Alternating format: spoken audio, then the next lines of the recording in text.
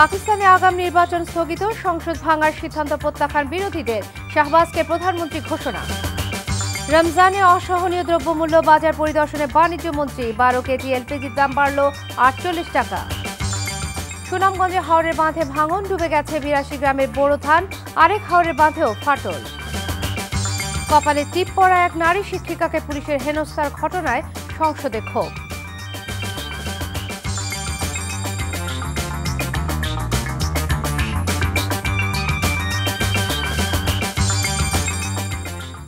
আসসালামু আলাইকুম। মুমতাহিনা ঋতু, স্বাগত জানাচ্ছি এনটিভির রাতের খবরে। একে এস টি এমটি বা শিরোনাম দেখছিলেন, এবারে পুরো খবর।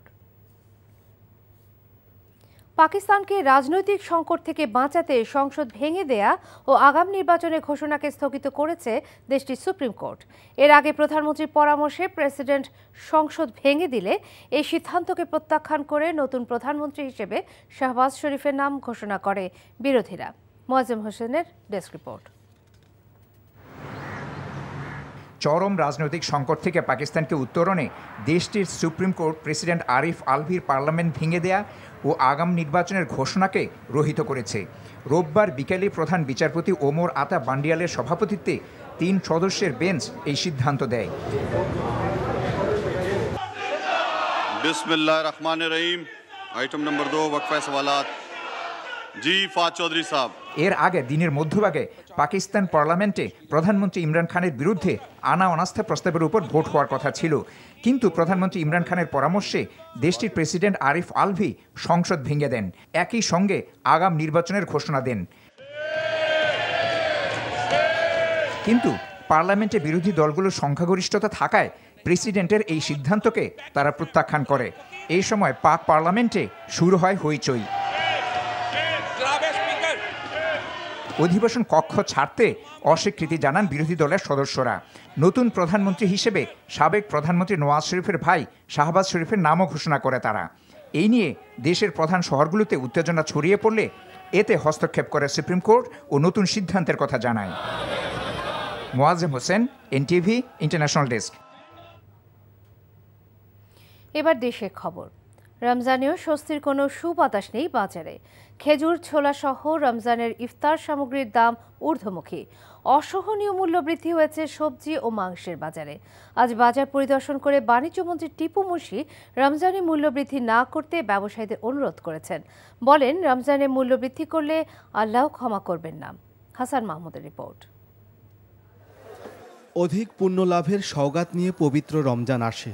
এই মাসে তাই পণ্যমূল্যে ছাড় দিয়ে বেশি সওয়াব পাওয়ার কথা অথচ উল্টো এ মাসেই প্রতি বছর কয়েক গুণ বেড়ে যায় নিত্যপণ্যের দাম। গত কয়েক মাস ধরে দ্রব্যমূল্যের আকাশ ছোঁয়া মূল্য যেন রমজানে আরও বেড়েছে। মানুষে এখন যে মানুষের বেতন পায় সেদিক দিয়ে থেকে এই মানুষের এই জিনিসপাতি কেনার ব্যাপারে অনেক কষ্টকর হয়ে গেছে। নিত্য পণ্যের দাম অনেকের কাছে বেশি লাগল। আসলে সব শ্রেণির মানুষ তো এক এক রকম এক একজন। তো আগের চেয়ে অনেকটা একটু বেশি। রমজানে তো একটু বেশি আছে আর যারা ক্রেতা তারাও আননেসেসারি এসে বেশি কিনতেও আসে। রমজানের প্রথম দিনে বাজার পরিদর্শন করতে কারওয়ান বাজার আসেন বাণিজ্যমন্ত্রী টিপু মুন্সি। চাল ডাল তেলের বাজার ঘুরে বেশ কিছু অসঙ্গতি খুঁজে পান মন্ত্রী। পবিত্র রমজানে দ্রব্যমূল্য বৃদ্ধি না করতে ব্যবসায়ীদের নির্দেশ দেন মন্ত্রী। প্রত্যেকটা দোকানে কিন্তু দামের লিস্ট থাকতে হবে। আমার নির্দেশ রইল যে দোকানে যদি না দামের লিস্ট না থাকে তার বিরুদ্ধে ব্যবস্থা নেবেন। কৃচ্ছতার মাস, রমজান মাস, যেখানে মানুষ সংযমী হবে, সেইখানে যদি আমরা সুযোগ নেই, তাহলে আল্লাহ তো আমাদের মাফ করবেন না। পৃথিবীর ট্রাক বৃদ্ধির আপাতত কোনো পরিকল্পনা নেই বলেও জানান তিনি।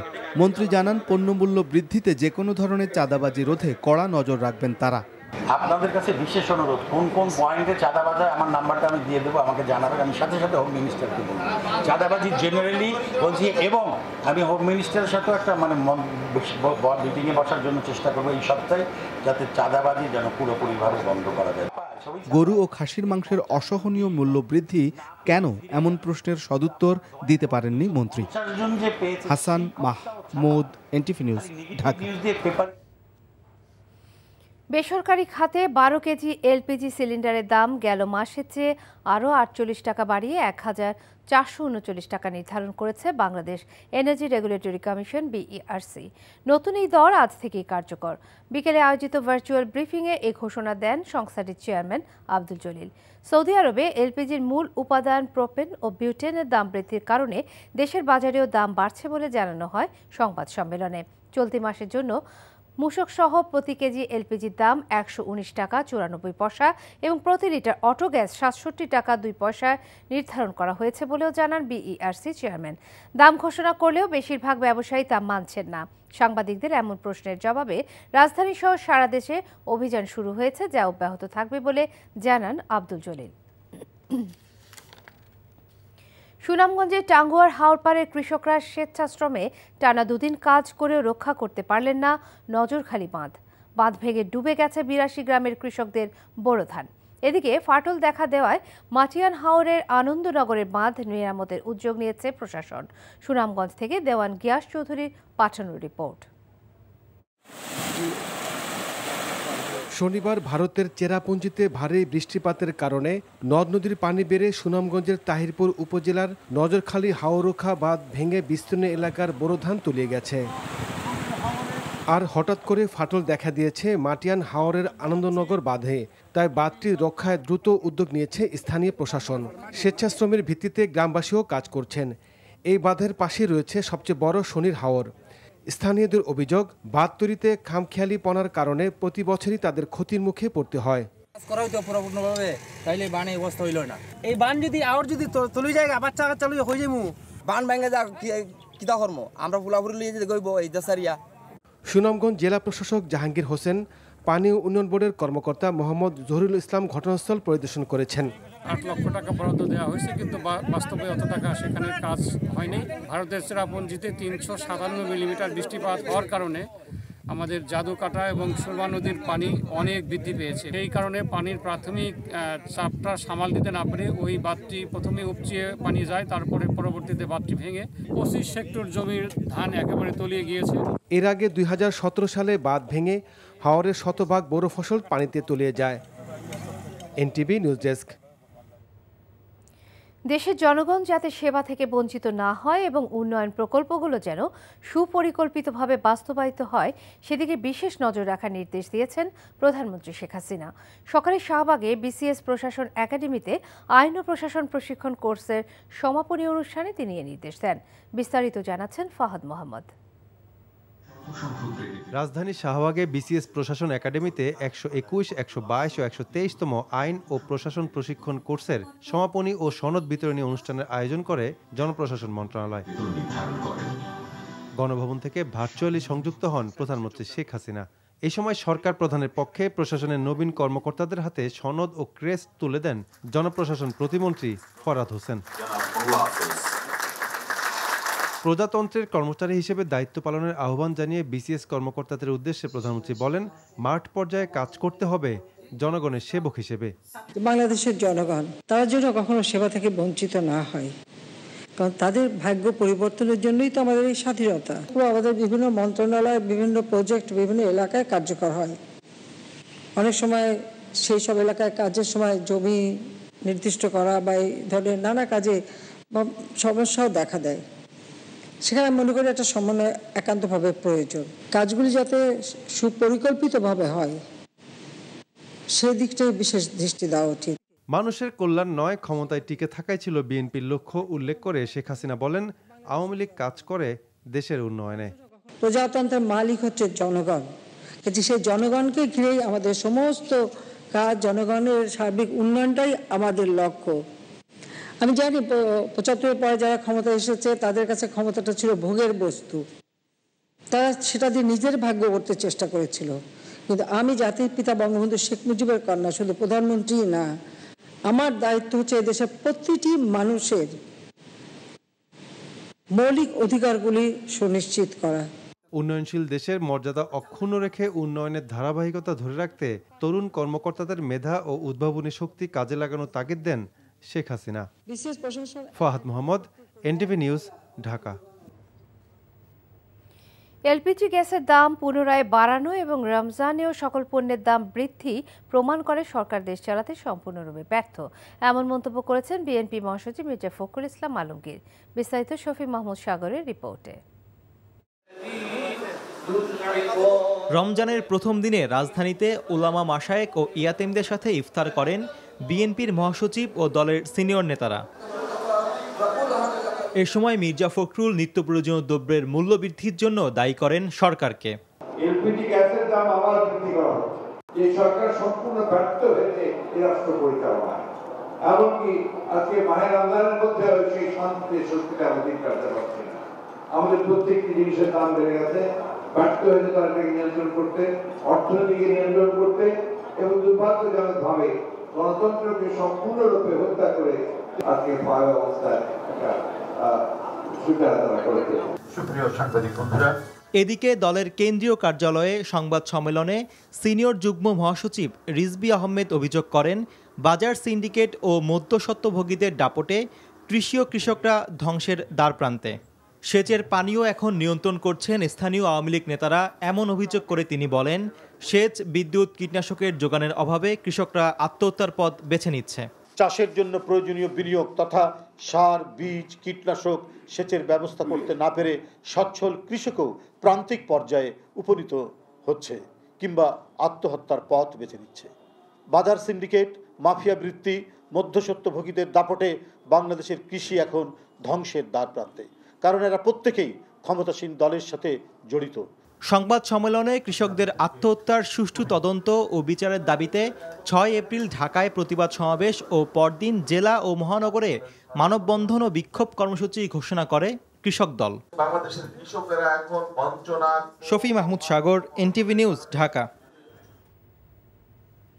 বিএনপির বক্তব্য খালি কলসি, বেশি বাজার মতো মন্তব্য করে তথ্যমন্ত্রী ডক্টর হাসান মাহমুদ বলেছেন, কোনো আন্দোলন করেই বিএনপি রাজনৈতিক ফায়দা নিতে পারবে না।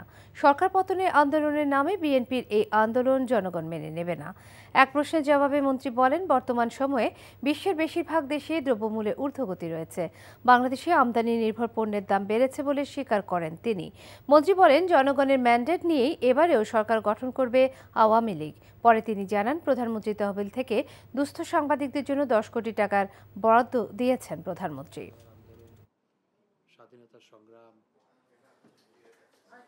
বিএনপি আসলে খড়কুটো আঁকড়ে ধরে তারা তাদের রাজনীতিটাকে টিকিয়ে রাখতে চায়।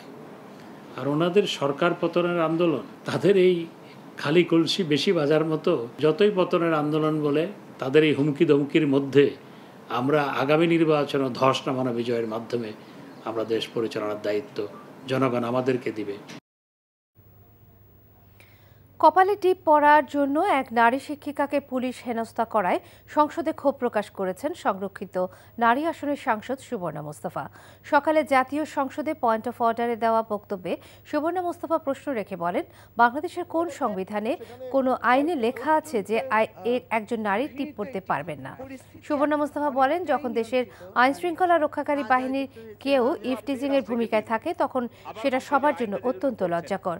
বিষয়টি নারী সমাজের জন্য অত্যন্ত অত্যন্ত ঘৃণিত ঘটনা উল্লেখ করে অবিলম্বে অভিযুক্ত পুলিশ সদস্যের বিরুদ্ধে ব্যবস্থা নিতে সংশ্লিষ্টদের প্রতি আহ্বান জানান তিনি। যে কারণে আপনি দেশের আইন রক্ষাকারী কাউকে ইফটিজিং এর ভূমিকায় দেখি মাননীয় স্পিকার তখন সেটা আমাদের সবার জন্য অত্যন্ত লজ্জাস্কর একটি ঘটনা। বাংলাদেশের কোন সংবিধানে কোন আইনে লেখা আছে যে একজন নারী টিপ পড়তে পারবে না? আমি এখানে হিন্দু মুসলমান খ্রিশ্চান বৌদ্ধ এমনকি সে বিবাহিত না বিধবা এগুলো বিষয় নয়। বিষয় হচ্ছে একটি মেয়ে টিপ পড়েছে, যারা সংশ্লিষ্ট কর্মকর্তা, তারা যদি এখনও এ ব্যাপারে কোনো পদক্ষেপ না নিয়ে থাকেন, তাহলে যেন ইমিডিয়েটলি এরকম একটা স্টেপ নেওয়া হয় যে ভবিষ্যতে কোনো দিন কোনো দিন এই ঘটনা যেন আর পুনরাবৃত্তি না হয়। আগামী জুন মাসের মধ্যে যান চলাচলের জন্য পদ্মা সেতু উন্মুক্ত করে দেওয়া হবে বলে জানিয়েছেন সড়ক পরিবহন ও সেতুমন্ত্রী ওবায়দুল কাদের।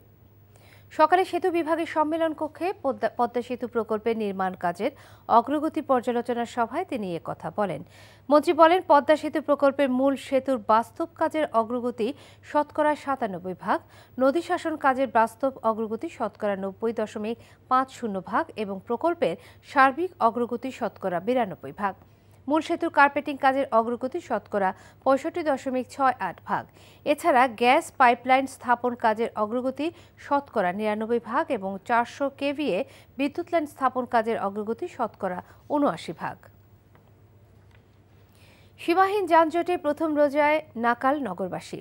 কেউ গাড়ির অপেক্ষায় রাস্তায় দাঁড়িয়ে, আবার কেউ বা গাড়ির ভেতরে বন্দি থেকেই ঘণ্টার পর ঘণ্টার সময় কাটিয়েছেন ঘরে ফেরার মিছিলে। রোজার প্রথম দিনের মানুষের এই ভোগান্তির কিছুটা তুলে ধরেছেন মুকসিমুল আহসান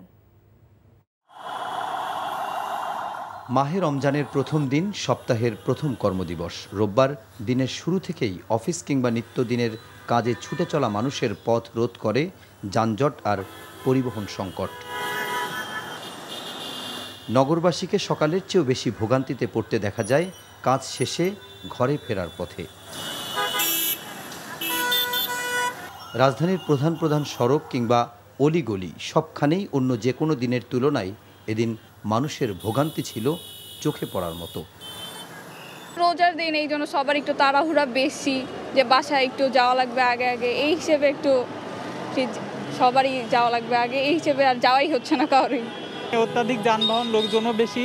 মানে যানজটের কারণে একেবারেই অস্থির অবস্থা। বিশেষ করে সারা দিনের কর্মব্যস্ততা শেষে পরিবারের সাথে ইফতার করতে ঘরমুখ মানুষকে গাড়ির জন্য চৈত্রের তপ্ত রোদে ঘণ্টার পর ঘণ্টা ঠায় দাঁড়িয়ে থাকতে দেখা যায়। মানুষ কীভাবে যাবে কীভাবে ইফতার করবে কোন? আপনি দেখেন রাস্তাঘাটের অবস্থা। কোনো গাড়ি আছে? কোনো যানজট? হাজার হাজার লোক গাড়ি নাই। দাঁড়াই আছে এখান থেকে ধরেন তিনটা থেকে দাঁড়ানো বাট এখনও বাস পাচ্ছি না। আর যারা রীতিমতো যুদ্ধ করে গাড়িতে উঠেছেন তাদের অনেককেই দুই থেকে তিন ঘণ্টা বসে থাকতে হয়েছে বাসের ভেতরেই। তিন ঘণ্টা হয়ে গেছে এখন পর্যন্ত নীলক্ষেত যাইতে পারিনি। ফার্ম গেটে এসে বসে আছে আধা ঘণ্টা ধরে। রাস্তা তো খুবই খারাপ খুবই খারাপ। যাবতীয় পানাহার এবং কুপ্রবৃত্তি থেকে দূরে থাকতে ধর্মপ্রাণ মুসলমানরা রোজা রাখেন সংযম অর্থাৎ সিয়াম সাধনার মাস মাহে রমজানে। অথচ এই সময় তাদের কষ্ট মরার উপর খাড়ার ঘা হয়ে দাঁড়ায় তখনই যখনই বাজারে দ্রব্যমূল্যের ঊর্ধ্বগতির পাশাপাশি রাস্তায় সীমাহীন যানজটে নতুন ভোগান্তি যোগায় তাদের যাপিত জীবনে। Muksimul Ahsan NTV news, Dhaka. দশ বছরেও একটি মামলায় শুনানি শুরু করতে না পারায় উষ্মা প্রকাশ করে আপিল বিভাগ বলেছে, এটা লজ্জার। এই সময় রাষ্ট্রপক্ষকে উদ্দেশ্য করে প্রধান বিচারপতি হাসান ফয়েজ সিদ্দিকীর নেতৃত্বাধীন আপিল বেঞ্চ কিছু মন্তব্য করেন। বলেন, একজনের ভিটে বাড়ি নিয়ে যাবে আর আদালত চোখ বন্ধ করে থাকবে, এটা হতে পারে না। তাহলে দেশে কোর্ট কাচারি থাকা দরকার কি? এমন প্রশ্ন করে আদালত। রাজধানীর মগবাজারে বীর মুক্তিযোদ্ধা সিরাজ কমান্ডারের জায়গা অর্পিত সম্পত্তি হিসেবে সরকারের অধিগ্রহণ অবৈধ ঘোষণার রায়ের বিরুদ্ধে লিভ টু আপিলের শুনানিতে আদালত এসব মন্তব্য করেন। ভুক্তভোগীর আইনজীবী জানান, মগবাজারের সাড়ে উনিশ শতাংশ জায়গার মালিক সিরাজ কমান্ডার। সেই জায়গা অর্পিত সম্পত্তি হিসেবে অধিগ্রহণ করে বিসিএস প্রশাসন কল্যাণ বহুমুখী সমবায় সমিতিকে দেওয়া হয়েছে। ওই বছরই জায়গা অধিগ্রহণ চ্যালেঞ্জ করে হাইকোর্টে রিট করেন সিরাজ কমান্ডারের সন্তানরা। রিটের শুনানি নিয়ে দু হাজার বারো সালে হাইকোর্ট অধিগ্রহণ অবৈধ ঘোষণা করে। হাইকোর্টের এ রায়ের বিরুদ্ধে একই বছর লিপ্টু আপিল করে সরকার। সেই লিপ্টু আপিলের শুনানি চলছে। দুর্নীতির প্রমাণ পাওয়ায় চতুর্থ শ্রেণির এক কর্মচারীকে চাকরিচ্যুতি, এক ব্যবসায়ের ডিলারশিপ স্থগিত আর দুর্নীতির অভিযোগ ওঠায় এক গুদাম কর্মকর্তার বিরুদ্ধে তদন্ত করছে টিসিবি। এনটিভির অপরাধ বিষয়ক অনুষ্ঠান ক্রাইম ওয়াচে টিসিবির পণ্য নিয়ে দুর্নীতির চিত্র তুলে ধরার পর এ ব্যবস্থা গ্রহণের কথা জানান সংস্থাটির কর্মকর্তারা। আয়নাল আহমেদের ক্যামেরায় আরও জানাচ্ছেন শফিক শাহিন। রাজধানীর তেজগাঁও শিল্পাঞ্চল এলাকায় ট্রেডিং কর্পোরেশন অব বাংলাদেশ টিসিবির গুদামের দিকে নজর রাখে এনটিভির অপরাধ বিষয়ক অনুষ্ঠান ক্রাইম ওয়াচ টিমের সদস্যরা। বাইশে মার্চ টিসিবির কিছু অসাধু কর্মচারী, কর্মকর্তা ও ডিলারদের দুর্নীতির চিত্র সম্প্রচার হয় ক্রাইম ওয়াচ অনুষ্ঠানে। হাতে নাতে দুর্নীতির চিত্র প্রকাশ করার বিষয়টি নজরে আসে বাণিজ্য মন্ত্রণালয়, টিসিবি এবং জাতীয় ভোক্তা অধিকার সংরক্ষণ অধিদপ্তরের। এমন একটি অনুসন্ধানী অনুষ্ঠান সম্প্রচার করায় এনটিভিকে ধন্যবাদ জানান তারা। আমি এনটিভিকে ধন্যবাদ জানাচ্ছি বিশেষ করে আপনাকে যে আপনি একটা সাহসী একটা নিউজ করেছেন। এটা যেহেতু একদম প্রমাণ আছে সেই ক্ষেত্রে আমরা অলরেডি এটার ব্যবস্থা নিয়েছি এবং এটার ব্যাপারে আমরা খুব কঠোর অবস্থানে নিয়েছি। টিসিবির চেয়ারম্যান জানান ট্রাকে সিরিয়াল দেওয়ার নামে ঘুষ গ্রহণের দায়ে ইতোমধ্যে চতুর্থ শ্রেণির কর্মচারী রুহুল আমিনকে চাকরিচ্যুত করা হয়েছে। গুদাম কর্মকর্তা সাইদুর রহমানের বিরুদ্ধে দুর্নীতির অভিযোগের বিষয়ে তদন্ত কমিটি গঠন করা হয়েছে। আর কামরুল হাসান সহ যেসব ডিলাররা পথিমধ্যে টিসিবির পণ্য নামিয়ে রাখেন, তাদের ডিলারশিপ স্থগিত করা হয়েছে। যে এটার সাথে জড়িত ছিল তাকে চাকরি থেকে অবহিত করেছি। অন্য যাদেরকে আমরা দেখেছি এটার ব্যাপারে একটা তদন্ত কমিটি করা হয়েছে আমাদের হেডকোয়ার্টার পক্ষ থেকে। ডিলার যদি কোনোভাবেই জড়িত থাকে এই ধরনের অপকর্মে তাকে আমরা ডিলারশিপ বাতিল জামানত বাজেয়াপ্ত এগুলোর ব্যবস্থা আমরা নিয়ে থাকি এবং সে ধরনের ব্যবস্থাই নেওয়া হবে। পণ্য বিতরণের ক্ষেত্রে যেসব অভিযোগ পাওয়া যাচ্ছে সেসব বিষয়ে দ্রুত ব্যবস্থা নেওয়া হচ্ছে বলে জানান টিসিবির chairman. Shafiq Shahin, NTV news, Dhaka. Virtual মাধ্যমে ক্ষতিকর বিষয়ের ঝুঁকি এবং সেগুলোকে নিয়ন্ত্রণ করা যেমন জরুরি, তেমনি এগুলো নিয়ন্ত্রণ করতে গিয়ে মানুষের বাক স্বাধীনতা যেন ঝুঁকিতে না পড়ে, সেদিকে গুরুত্ব দেওয়ার জন্য সরকারের প্রতি আহ্বান জানিয়েছে Transparency International Bangladesh, TIB. Digital সামাজিক যোগাযোগ মাধ্যম ও ওটিটি প্ল্যাটফর্ম বিষয়ক নীতিমালার খসড়ার উপর আয়োজিত ভার্চুয়াল সংবাদ সম্মেলনে সংস্থাটির নির্বাহী পরিচালক ডক্টর ইফতেখারুজ্জামান এই আহ্বান জানান। তিনি বলেন বিটিআরসির বেঁধে দেয়া সময়সীমার মধ্যেই তারা এই নীতিমালার খসড়ার উপর তাদের মতামত দিয়েছেন। খসড়ায় কন্টেন্ট অপসারণ এবং শনাক্তকরণের যে ধারা রাখা হয়েছে, তা বাক স্বাধীনতার জন্য হুমকি বলে উল্লেখ করেন ডক্টর ইফতেখার। বিশিষ্ট আইনজীবী ও সাবেক প্রধান বিচারপতি সৈয়দ মাহবুব মোর্শেদের তেতাল্লিশতম মৃত্যুবার্ষিক পালন করেছে পরিবার ও স্বজনরা। এ উপলক্ষে সকালে রাজধানীর বনানী কবরস্থানে মাহবুব মোর্শেদের কবরে পুষ্পস্তবক অর্পণ করে তার প্রতি শ্রদ্ধা জানান মরহুমের পরিবারের সদস্যরা। শ্রদ্ধা জানায় সৈয়দ মাহবুব মোর্শেদ স্মৃতি সংসদ। পরে মরহুমের আত্মার মাগফিরাত কামনা করে মোনাজাত ও কোরআন কানির আয়োজন করা হয়। এই সময় প্রয়াত এই আইনজীবীর সন্তান সৈয়দ মারকুম মোর্শেদ উপস্থিত ছিলেন। উনিশশো উনআশি সালের এই দিনে ইন্তেকাল করেন সৈয়দ মাহবুব মোর্শেদ।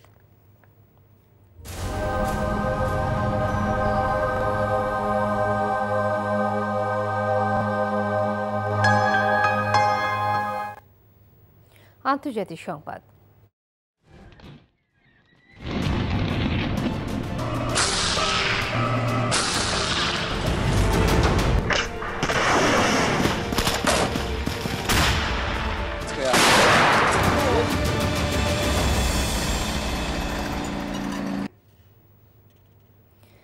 ইস্তাম্বুল চুক্তি অনুসারে রাজধানী কিয়েভ ও গুরুত্বপূর্ণ শহর চেনিভ থেকে রুশ সেনা প্রত্যাহার করা হয়েছে। শহর দুটি কর্মকর্তারা বলেছেন কিয়েভ ও চেনিভে সরকারের নিয়ন্ত্রণ পুনঃপ্রতিষ্ঠিত হয়েছে। তবে অন্য শহর ওডেসায় আজ ব্যাপক হামলা চালিয়েছে রুশ সেনারা। মোয়াজ্জেম হোসেনের আরেকটি ডেস্ক রিপোর্ট। কৃষ্ণ সাগরের পাড়ের এই শহরের নাম ওডেসা। রোববার সকালে ওডেসার আকাশ কালো ধোঁয়ায় ঢেকে গেছে। কারণ দিনের শুরুতেই একটি তেল শোধনাগারে হামলা চালিয়েছে রুশ বাহিনী।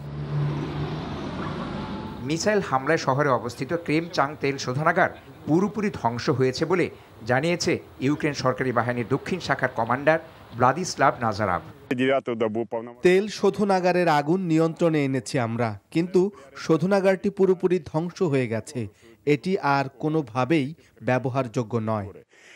রুশ কর্মকর্তারা বলেছেন, যাতে ইউক্রেন সেনারা জ্বালানি না পায়, সে কারণে তেল শোধনাগারটি ধ্বংস করা হয়েছে। এই সকালে ওডেসায় একটি তেল শোধনাগার ও তিনটি তেলের ডিপোতে আমরা মিসাইল হামলা চালিয়েছি, কারণ এখান থেকে মাইলোকোপ শহরে অবস্থিত ইউক্রেন সেনাদের জ্বালানি সরবরাহ করা হয়। কিয়েভ ও চেরনিহিপ থেকে রুশ সেনা প্রত্যাহারের পর, সেখানে ইউক্রেন সরকারের নিয়ন্ত্রণ পুনঃপ্রতিষ্ঠিত হয়েছে বলে জানিয়েছে শহর দুটির কর্মকর্তারা। তবে রাস্তায় রাস্তায় মৃতদেহ পড়ে থাকতে দেখা যায়।